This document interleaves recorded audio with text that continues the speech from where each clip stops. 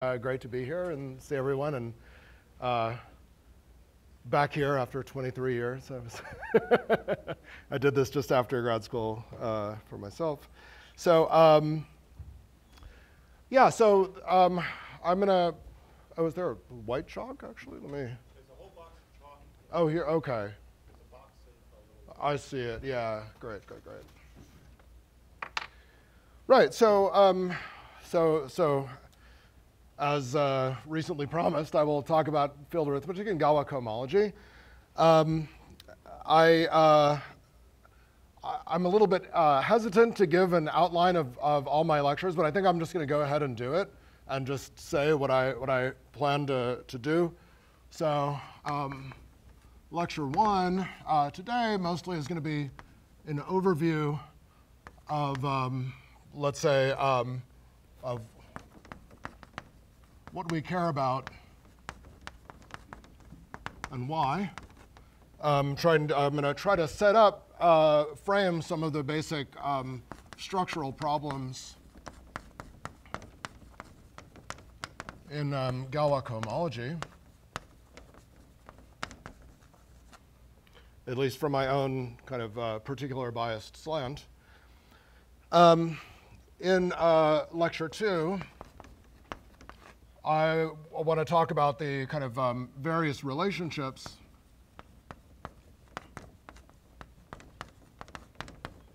um, between um, Galois cohomology and um, other um, measurements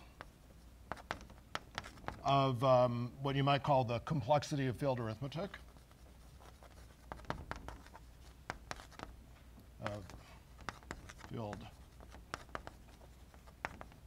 So I'm sure you have no idea what I'm writing here, but is it, is it vaguely, is the size okay? Is it vaguely legible?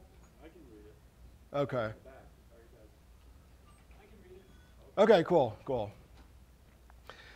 Um, lecture, so these first two lectures um, are going to be, for the most part, um, uh, field agnostic. You know, we will, these will be kind of general stuff about like various fields, you know, fields in general, not specific fields. Um, lecture three, I'm going to um, try to focus more sharply on the, um, on the period index problem, um, particularly for the Brauer group.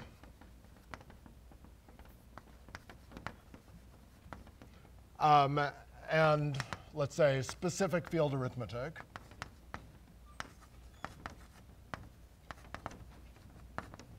So that is the arithmetic of specific fields, I guess I should say. Um, so I'll still talk about a range of different fields in lecture three, but, uh, but at least in the second half, the, the goal will be to aim um, towards this particular technique of um, field patching, um, which involves a class of fields that have been called, for better or worse, semi-global fields. And then finally, lecture four um, will, will be more about field patching and um, let's say um, higher period index problems. All right, so um, now this is, um, I guess, though, a, a summer school on like motivic uh, cohomology and stuff like that. So, um, so I, I want to like um, recall a, a story um, that my father told me um, when I was younger. I don't know where he got this story actually, but he said, um, okay, so the story goes, you know, once upon a time, there was this, you know, young uh, person who lived in this village, and he decided that he wanted to know what, you know, the meaning of life was. He wanted to uh, learn about what is like, what is fate, what is destiny, what, what is this all about, right? And um, so it becomes a, a wanderer, wanders far and wide, seeking answers to these problems. Eventually, um, this uh, young person is told that actually, you know, if you really want to know the answer to these problems, you have to go into these caves up in the hill and seek out this hermit who knows the answers to these problems. He's been, you know, thinking about this for quite a long time. So he, after, you know, a long time, he finds these caves and finds this old, you know, hermit living in, living in the cave, and he says, Master, what is fate? And the master replies, It is that which we carry with us, what brings us from place to place. It is that which causes the toil of beasts of burden. It is that which men in former times had to bear upon their backs. It is that which caused nations to build byways from city to city upon which carts and coaches pass. I had to write this down because I thought it, was, it would be better if I wrote it down. Okay. Um, and alongside, and alongside these byways, inns have been built to stave off hunger, thirst, and weariness. And the wanderer says, And that is fate? And the master replies, uh, Fate? I, I thought you said freight. and the wanderer says, That's all right. I wanted to know about freight too. and so, the point of the story is you, you might have come here for fate, but I'm hoping that you'll, you know, sometimes you need a little freight along the way, right? So, I mean, you know, okay, so it's not, it's not motivic homology that I'm doing, right? It's not totally irrelevant to motivic homology, and there's been some rich interactions over the years between Galois homology and motivic um, homotopy theory, motivic homology, but, um, but you know, I mean, sometimes when you're doing math, you, you need to care about freight too. So, okay. okay. Okay, well, with that in mind, you know, I'm asking for your patience, right? Okay. So, um, so I, I, I really, you know, I'll, I'll, be honest, I have no idea how to really aim these lectures properly. So, um, so I, I, I think, um, which is probably okay because I don't think I would actually do very well at getting hitting my target if I was aiming anyways, right? But so, uh, anyways, I thought that what we might do is um, just take kind of an interest, just a, a walk together. So, so let's start with with what we might mean. So this, we're, we're, you know, the topic is field arithmetic and Galois homology. So what, what, do we mean by field arithmetic? So um, I, let me say a reasonable working definition, I think, is um, to answer the question, um, which systems of equations um, do or don't have solutions? Okay? So somebody gives you a field, you're wondering what kind of equations you can solve. And, um, you know, so, um, so maybe the, your equation is, you know, some polynomial and lots of variables is zero, maybe it's, it's equal to some value b or whatever, or maybe it's some complicated system with a lot of equations. Um, and, but let's, let's start out by just um, imagining kind of how this looks if we do this in a totally stupid way, bear with me, and just count from degrees, okay? So like, what if you have like degree one systems? Okay, linear stuff. Okay, nothing going on, right? You know, you just count dimension, yes, no, everything's fine. Um, degree two, now we're in the realm of uh, quadratic forms.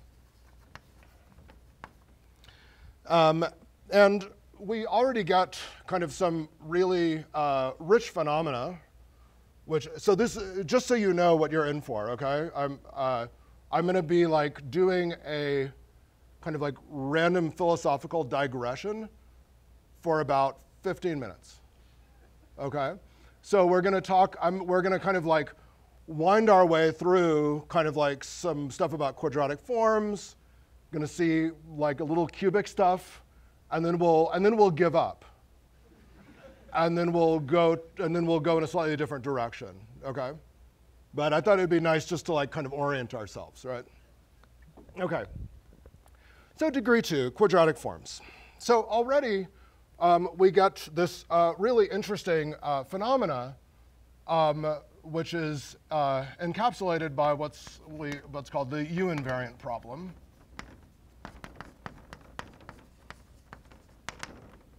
Which is just the question of when for a given field, so given a field, given a field f, um, um, and a quadratic form um, Q. So this, this is just Q is a homogeneous degree 2 polynomial and lots of variables, maybe. Can we um, ensure Q equals 0 um, has a, a non-trivial solution um, only knowing the uh, number of variables.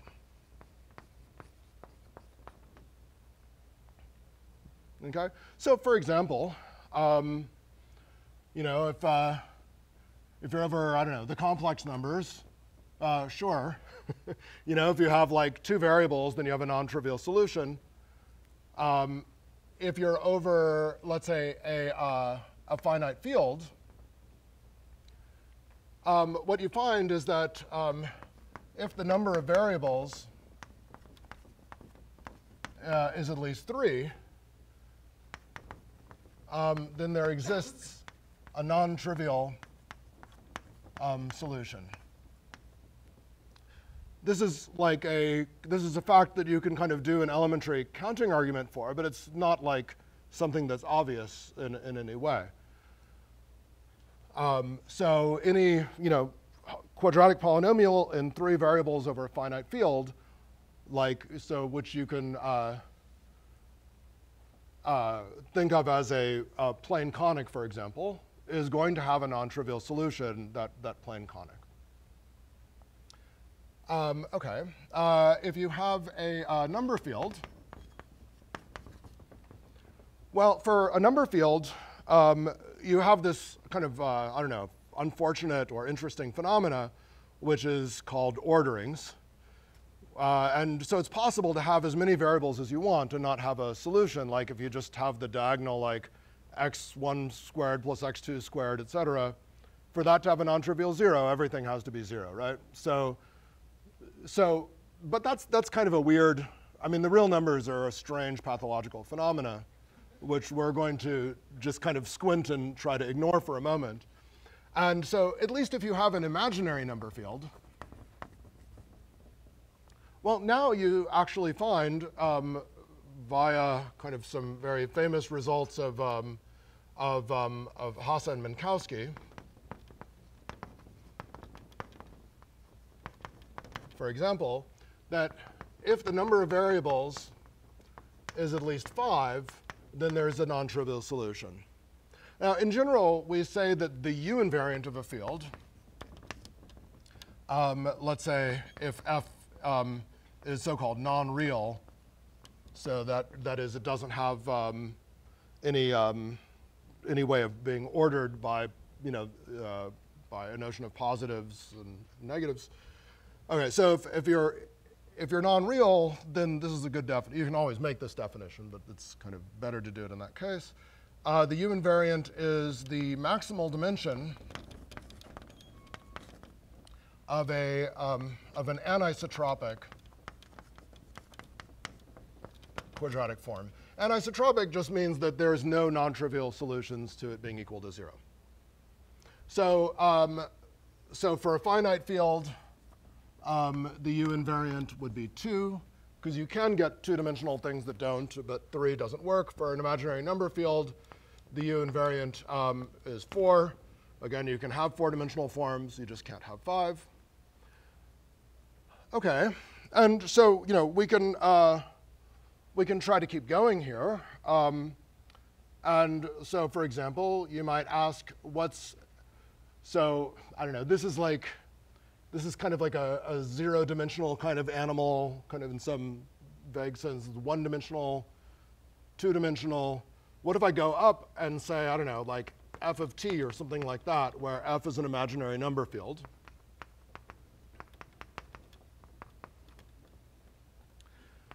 Um, so we can say like, you know, uh, is there, if you have enough variables, are you going to have a non-trivial zero? Um, what do you guys think? Any guesses for what the number is? Okay. okay. Mark says eight because there, there's a pattern, right? Did it look like it's doubling, right? Looks like it's doubling. Okay, who, who, who thinks eight? Who thinks eight?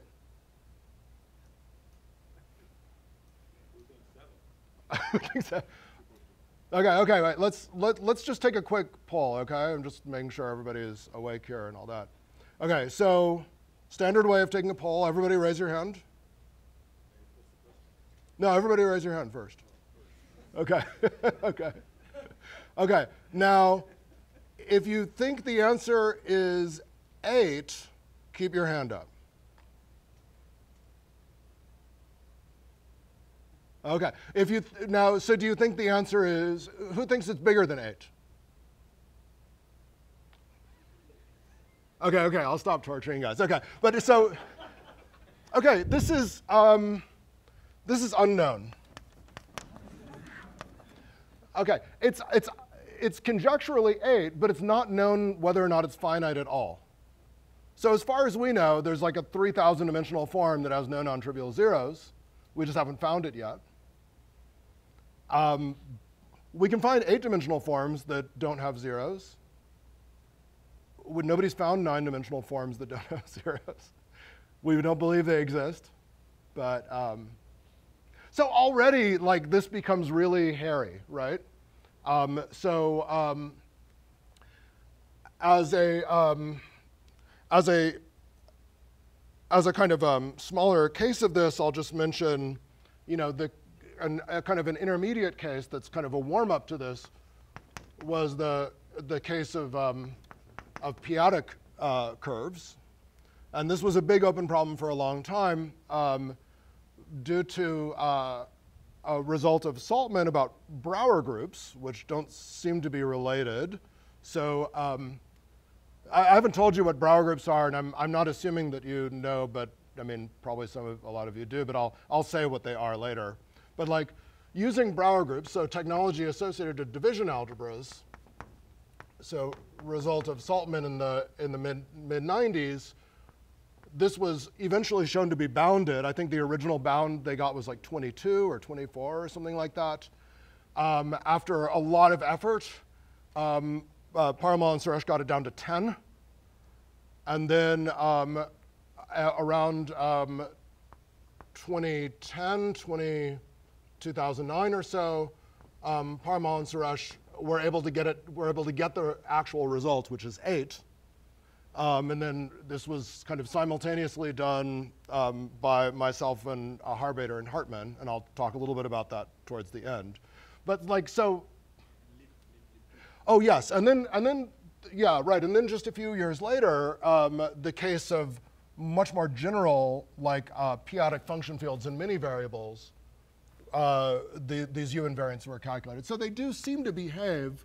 So by a result of Leep in 2013, it, it does seem to be that if you look at, you do get the expected results that if x is like um, d-dimensional, and you look at its function field, then kind of every dimension makes you go up by two. So QP itself has a U invariant of four, so you get like four times, you know, two to the D. Yep. Okay. So, okay, so, um, okay, so quadratic form. So already just a very basic question, like do you have a zero or not? Um, already like, and, and can you decide based on very little information like this, already gives a, a very complicated, rich, rich answer. Um, besides that, you can ask, um, like, I mean, there's more information about a quadratic form than just does it have a zero, right? You might want to say, how do you classify them? How do you tell them apart, right? How do you, how do you kind of like um, parameterize ones that have various properties and stuff like that? So, um,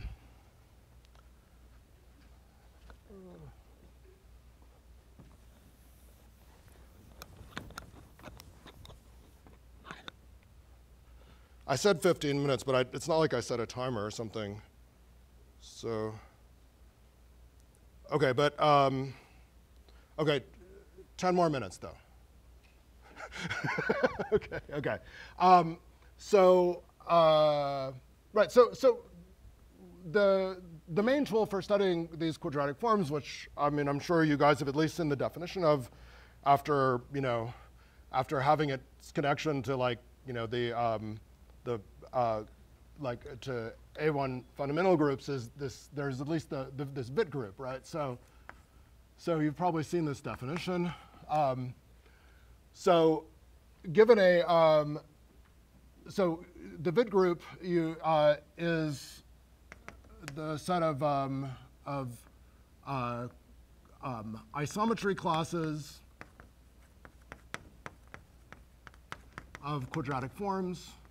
So here isometry just means like that they're the same after some linear change of variables. Um, modulo this equivalence, um, where you say that uh, two forms are equivalent if they differ by some number of like hyperbolic planes. So there's this kind of um, very special quadratic form, um, which we could write as x squared minus y squared. I should say at this point that this f has characteristic not 2 to simplify the, these discussions. And so there is this basic uh, hyperbolic form. If you have um, some other, if you have two forms, you can form this um, orthogonal sum, which is just the, so th this quadratic form, this is on some vector space V, and this is on some vector space V prime. And this is just the form on the uh, direct sum of those vector spaces, where you just take, you know, where you, you know, if you're thinking of quadratic forms like bilinear forms, you're just saying that they're perpendicular to each other and just computing it on each part, right? Um, okay, or on the quadratic form, it's just the sum of the, the values.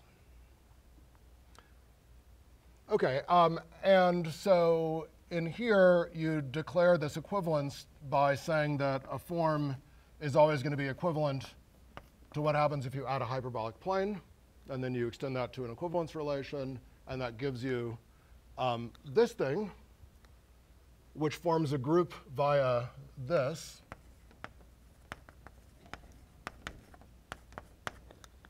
That gives it a group structure. Uh, it, in fact, has a ring structure as well, um, which is maybe easiest to think of in terms of bilinear forms. So, uh, so given some quadratic form, there's associated to it a bilinear form, which is just where you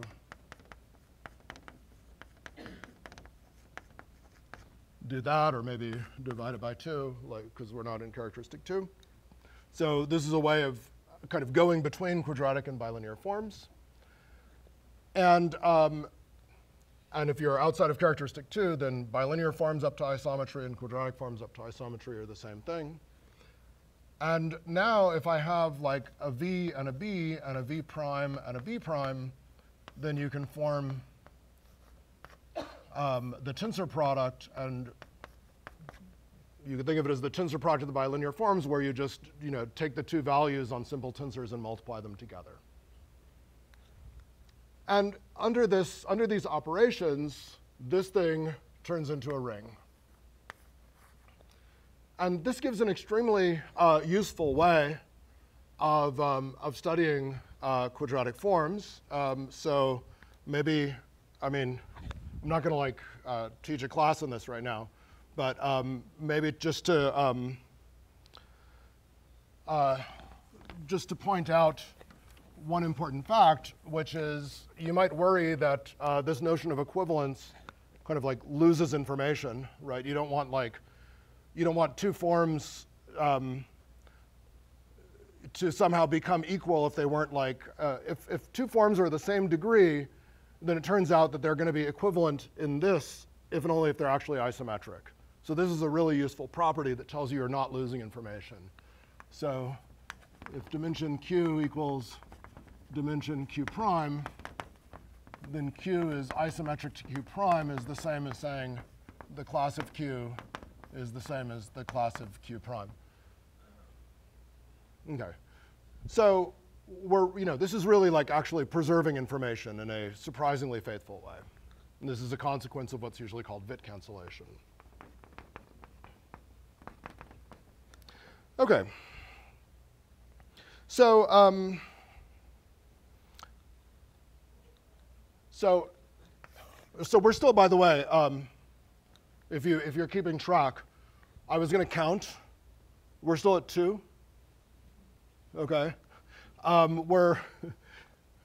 Uh, I if, if I'm going to have any kind of sanity, I can't take. I want to do. I, I'm not. I'm not going to take too much more with two, because we still have to get to three. but um, okay, but so at, at this point though, um, let me just point out the kind of like famous results that tie this um, together with uh, historically with um, motivic cohomology and, and all of that stuff, and that is uh, these uh, Milnor conjectures. Um, so, so the point here is that there is, if you look inside um, this ring, inside of it there is this ideal, which has this very naive description. This is the even dimensional um, forms. So because you're modding out by the hyperbolic plane and it's two dimensional, it still makes sense to talk about parity of equivalence classes, parity of dimension. And you can um, define um, I n of f just to be the powers of this um, ideal. And, what, and then you can, um, and you can consider the associated graded ring with respect to this ideal. So in other words, this is just, you know, W mod I direct sum I mod I squared, et cetera. Uh, it turns out that, um, that there's this kind of surprising relationship between this and, um, and Milnor K theory. So if you recall, um, for Milnor K theory, this is just, you know, um, generated by um, f star as a multiplicative, as a thought of as, thought of as additively. So just by things that you call that. Um, and then with this, uh, with just this relation um, that um, if you look at A 1 minus A, uh, then you just declare that to be 0. And in, in general, we, if you have um, the product in this ring, we just denote like that. This is all stuff that a lot of you guys have seen, probably everybody in this room, so sorry. but anyways. Okay, but the, but the, the crazy fact, though, is that if you look at this ring um, and you map it, um, let's say if you look at the you know, degree in part of this ring, and you map it to in mod in plus 1 of, of f everywhere, by um, taking this uh, to uh, the form which is um, 1 minus a1 tensor, so this is using the ring structure, 1 minus a n, then this gives a surjective map, which is like kind of the, the brunt of uh, uh, well, oh, no, that's not, that's easy actually. Okay, you get a surjective map, um, and the kernel is exactly uh, multiples of 2, which, uh, oh, I guess I don't need a little star there, right? so you get this isomorphism of the Milnor K-theory mod 2 and these powers of the fundamental ideal. And in fact, this kind of gives you actually a ring isomorphism um, with this and um, just the graded that. Okay, so that's the, um, so that's like uh, most of the um, Milnor conjecture in some sense, or a good chunk of it. Um, and, um, and in fact, I guess because there's a talk about Galois cohomology, I should point out that uh, that these that there's a third kind of part of this uh, of this uh, of this correspondence, which is um, so both these um, are the, are isomorphic to um, to the to this Galois cohomology ring uh, with mu two coefficients. So um, I guess I should, um, right, so, so I guess I should, I should say, um, like, what Galois cohomology is very quickly, since that's like all I'm going to talk about. okay, yeah. So, so very briefly, um, like these are, yeah, these are talks about Galois cohomology, and like, and yeah, so the definition is really, there's not much going on, right? So the, what, is, what does this thing mean? Like, so the deal is like, if you have, so another, another notation for this is it's um, the cohomology absolute Galois group into, into mu2, by which we these are really just group cohomologies. That is to say, um, so so so what are, what are these what are these things? So the so uh, so here GF is the absolute Galois group. And if somebody gives you some um, M is some abelian group with a continuous uh, um, action by the absolute Galois group. So the absolute Galois group is a profinite group as this um, so it has this topology, and we can ask for modules which have a continuous action. Then um, these things are just, when we just, when we're at Galois cohomology, we really just mean the um, derived functors of the, um, of the invariance of M. So it's, you know, just, um, so that's the definition of Galois cohomology, if you want. Um, from this perspective, though, I mean, like, like okay, like you can like look at Galois cohomology, you can take derived functors of whatever you want, but like, why should you care? And the, the point is that um, because of things like, like this, uh, so let me, let me kind of write it all in one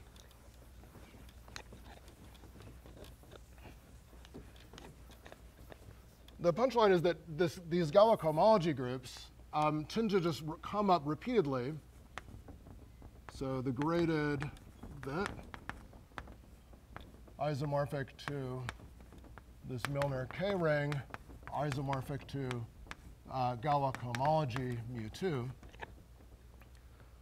Um, so the so okay, how, um, so the, these Galois cohomology groups, whatever they are, come up over and over in classifying different kinds of objects of interest. In some sense, that's kind of like their like moral meaning. Is there a good repository for invariants, just like cohomology, you know, groups in topology are good repository of invariants. But concretely here, like somebody gives you a quadratic form, maybe two quadratic forms, and you want to ask the question like, are they isometric? Right? And so the first thing you do is you say, well, what's their dimension? If one dimension is even and the other is odd, then check, you know the answer. but, um, but you know, because the um, isometry, so you know, so they better actually have the same dimension maybe to start with, right? and now, if you have the same dimension, isometry is just captured by the elements in the Witt group. And so you can map them over to the Witt group, and you can say, well, um, if I look at the difference, um, I want to know if this is zero. Well, is it at least in the first fundamental ideal? Okay, that's actually dimension. That's actually saying are they even. You can say, okay, are they in the square of the fundamental ideal? Well, how do you figure that out? Well, you take this class, and you, um, and this this this uh, this thing over here gives you an isomorphism between things in I mod I squared and H1 F mu 2. And what that tells you is, okay, are they the same? Well, the, their difference gives you some invariant over here, which is um, the same as a square class. And this is uh, the discriminant is the, is the invariant associated to this. And okay, well, so, so that gives you something to measure. If, if their discriminants are the, now, if their discriminants are the same, well, that means that their difference actually um, uh, is in i squared. So, but once it's in i squared, you can say, well, is it in i cubed? And then again, now you say, well, I, i squared mod i cubed, you know, maps into this h2. It turns out that this is the uh, two torsion part of the Brauer group that I'll say more about very soon. So this thing has to do with classifying division algebras over the field, and it gives you another place to decide whether or not your forms are the same. If you can make that decision, then you go back and you go back and you say, well, they're an I cube, but are they an I to the fourth? The invariant lands in H3. Um, and now we start to lose our ability to interpret these objects as like familiar happy algebraic objects that we're used to. There's, um, there's not kind of a nice algebraic avatar for an H3 class in general. Um, but whatever, whatever these groups are, it starts to behoove us to understand kind of like how to think about these, these objects over here, how to tell them apart, how to write them down, how to tell if they're, um, if they're the same, et cetera, how to tell if they're trivial. All right. Okay, so um, finally, um, let me also mention uh, the natural kind of related question that that this comes that, that comes from this, which is how do you write down quadratic forms? I mean, I mean, you, I mean, you know how to write them down actually, but but like, I mean, but in this in this context, like if I tell you, um, if I just tell you I have a quadratic form of dimension n, then you can use like Gram-Schmidt, is that what it's called? and like diagonalize it and write it down in a nice way. But, um, but if I say, okay, well, not only is it dimension n, but maybe it's, um, maybe, okay, maybe it's also has, maybe, it maybe it's even dimensional and has trivial discriminant in H1. Do you, can you write something down with trivial discriminant? Um, so writing quadratic forms. So writing just a general thing in W is no big deal, because that's Gram-Schmidt. Writing something, well, in I, well, that's no big deal. It's just saying it's even dimensional. Writing down something in I squared, now this is saying that the discriminant has to be trivial. But basically, that's just saying that like one of the entries square class is determined by all the other ones at the end of the day. So this is also really easy to write down writing down something in i cubed, now this becomes a little more thoughtful. Um, it was one thing to say that this, that this particular square class was trivial and to express that in terms of the, of the coefficients. But now to say that, um, that this Brauer class that you're getting somehow is trivial and what that means when you write it down, that's a lot more subtle.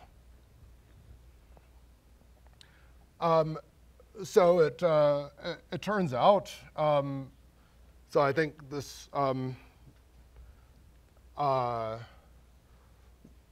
maybe the was uh, you know, an observation mentioned a long time ago by maybe Merkurjev, but also it was kind of optimal kind of ways of writing these things were found by um, Pat Brosnan, Zinovy Reichstein, and Angelo Vistoli.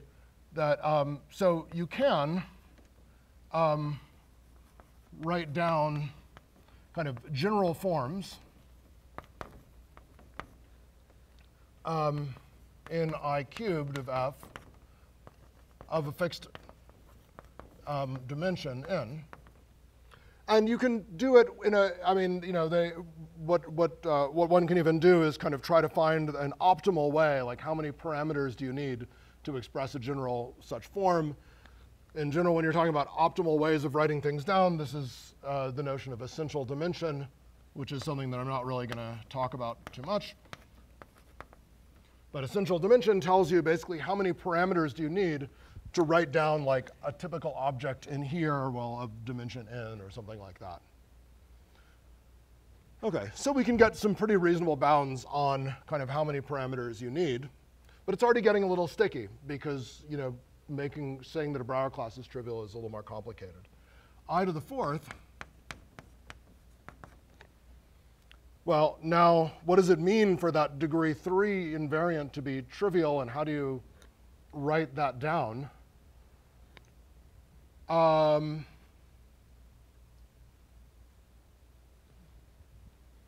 well, um, I can't think of like a good way to quiz you guys on this. So I'll just like tell you the answer, which is that like no one knows.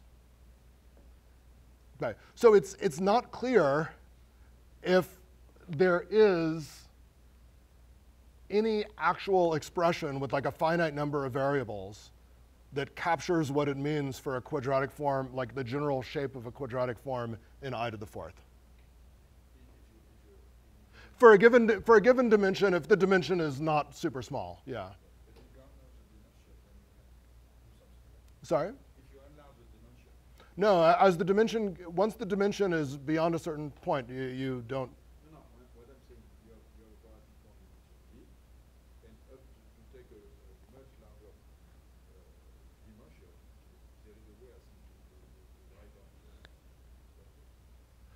So I guess what I'm what I'm saying is like uh, for if Q is in here and the dimension of Q is um, reasonably large, I'm not sure how big it needs to be offhand. Then it's I don't.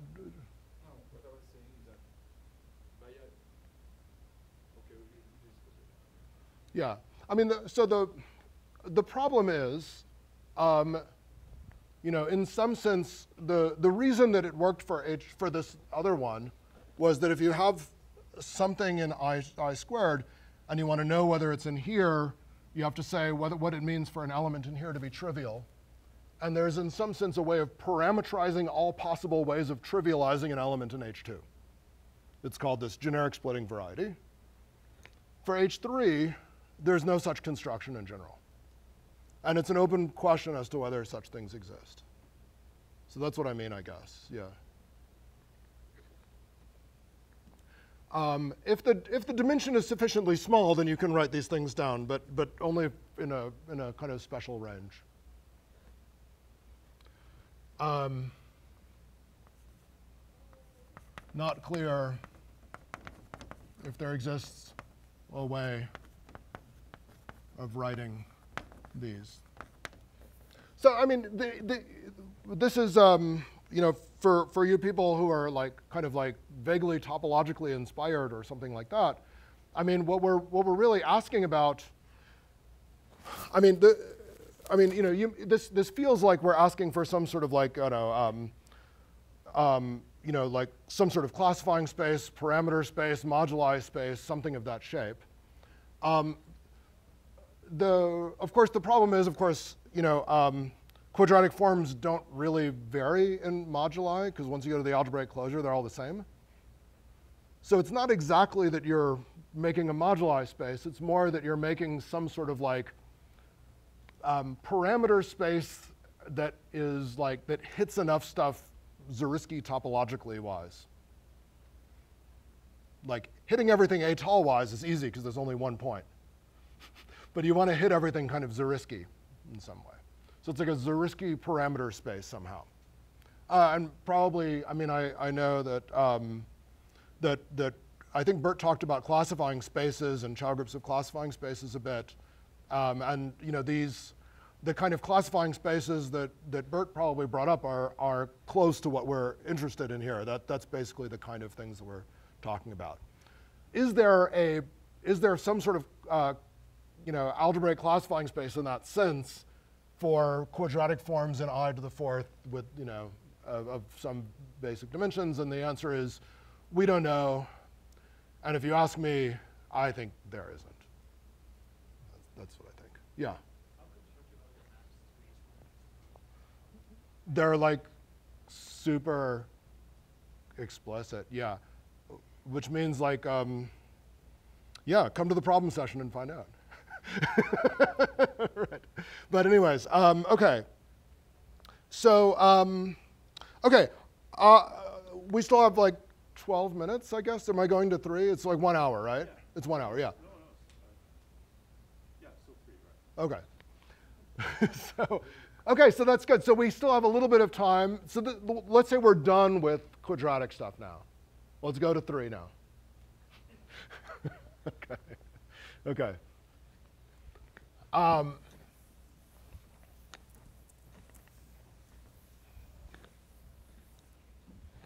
so, um, in my in my notes, I'm only on page six of 19 for what I had thought I would do, um, but hopefully I'll get through more than what I planned for lecture one this week. But I, you know, anyways, okay, okay. But um, let's do higher degree forms.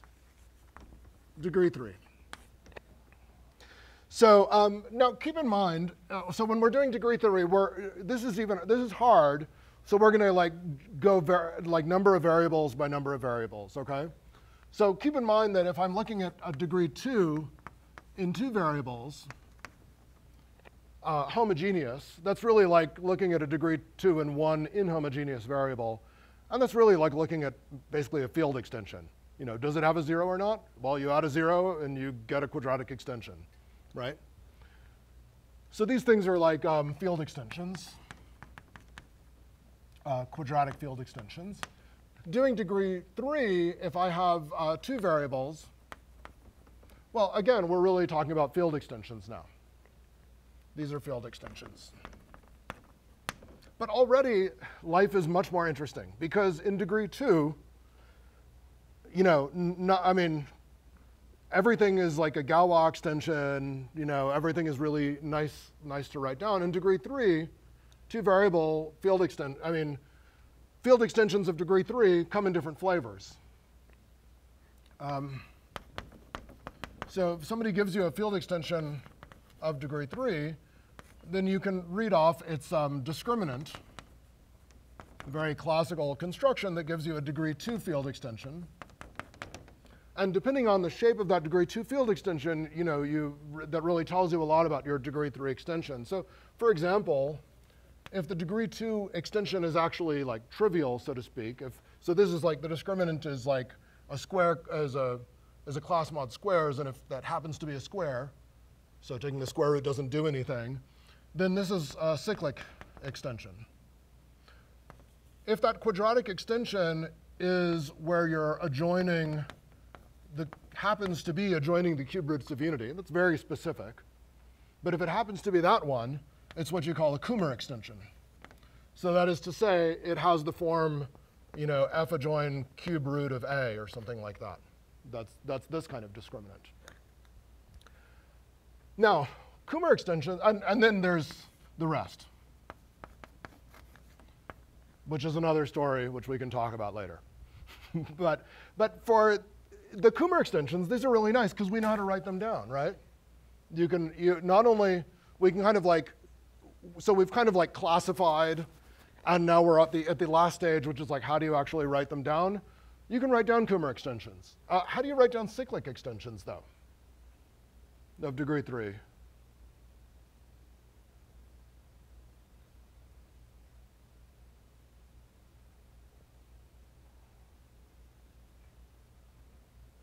don't know. I don't know.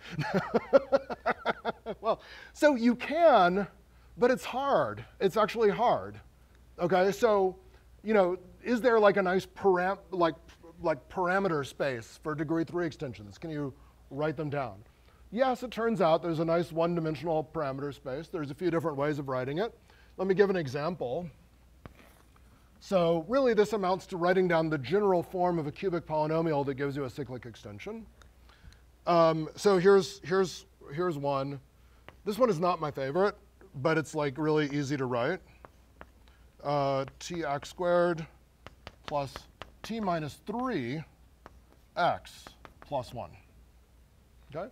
So this polynomial, this particular degree 3 polynomial, gives you a cubic uh, cyclic extension of degree 3.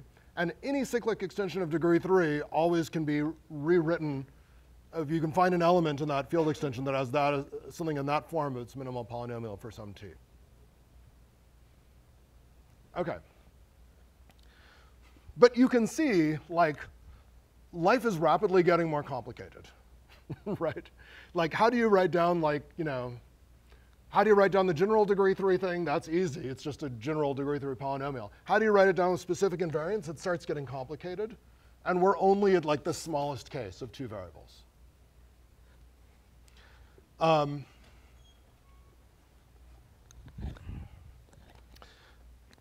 how about uh, how about uh, three variables? Three variables. Now things get really crazy, right? Because now we start getting moduli. So unlike the last thing, if you have a field extension, every field extension of the algebraic closure looks the same. Every degree three separable extension.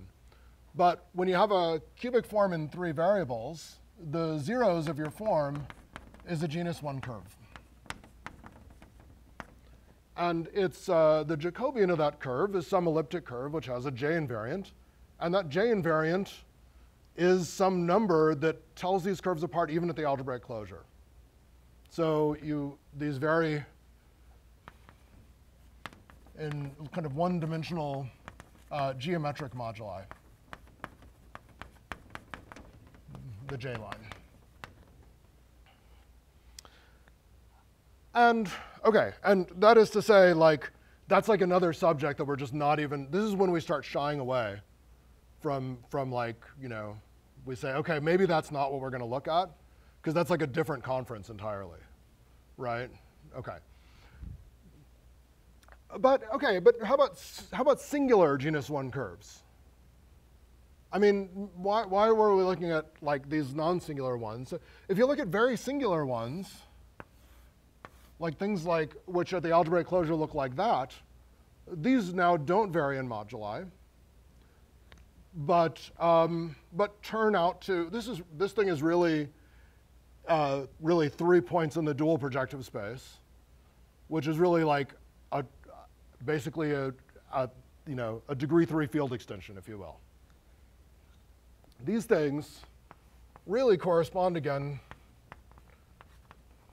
to cubic field extensions, you know, things at the algebraic closure that look like that are really degree three cubic field extensions where you're looking at the norm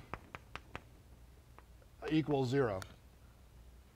So these things kind of are naturally arising again in an interesting arithmetically parameterized way as norm forms of cubic extensions.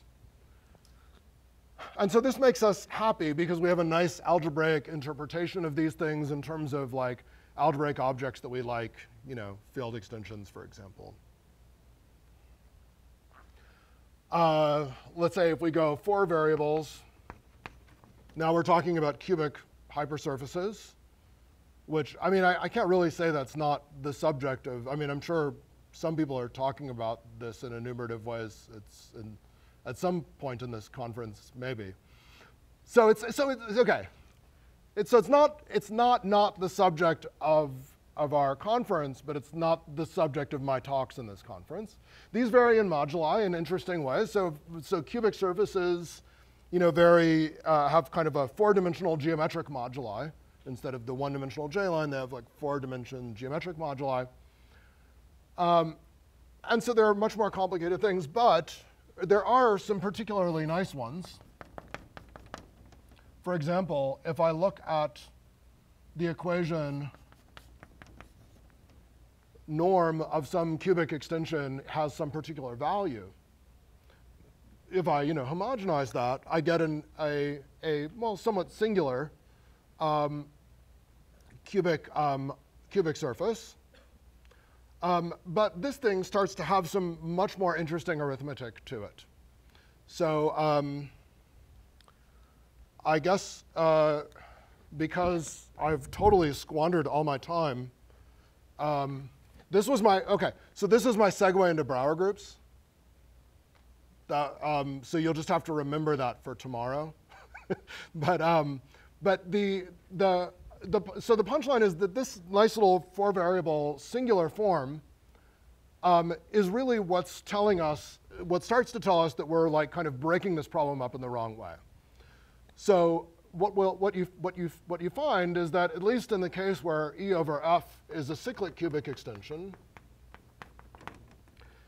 that, um, that this thing, even though it's a singular cubic surface in P3, um, if you embed it in, I didn't figure out what, what P this was. You can embed it in, for example, in um, the like 3-9 Grassmannian, for example, as a smooth, as a nice, naturally, as a nice smooth variety. Um, and it gives you, so this is like some, the affine, this affine thing sits as a nice affine thing and something that embeds nicely in this 3-9 Grassmannian, which, um, which reflects um, the, um, the uh, some, which reads off the arithmetic of a, of a nine-dimensional um, central simple algebra over the field. So there's, so there's a, an algebra associated with this cubic extension and this B.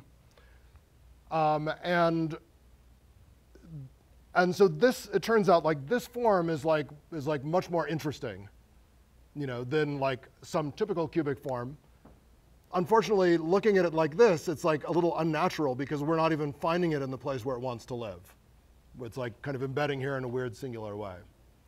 And so basically the, the punchline here is like, instead of kind of going like kind of degree wise, it makes more sense to actually like um, shift and say, well, instead of thinking about, did we really actually, actually, did we really even care about like, so this is, this is an interesting thing, right? Um, like, I told you in the beginning, field arithmetic is about like which equations have solutions and which ones don't. But that's like actually really horrible and boring, right? I mean, like, because like what it's not like what we actually do in our lives is like somebody comes up to us with like some system of equations, right? Actually, one of my colleagues did, um, like last year, and I I couldn't help them.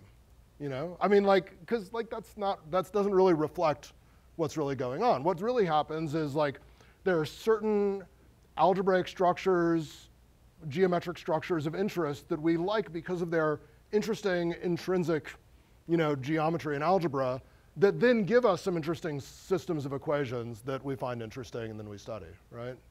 Isn't that usually what happens? So, so like, let's, so here's where we just abandon this and we say that what we at least found is that there are some natural classes that pop up. Quadratic forms are like strangely beautiful. A lot of good structure is there. Higher dimensional forms are much more sparse. Certain ones reflect various algebraic structures of interest. Those are the ones we focus on. Um, and the rest, at least for, for the other three lectures, we will not discuss. But OK, so um, yeah, so, so next time I'll actually talk about something advertised in the title of the talk.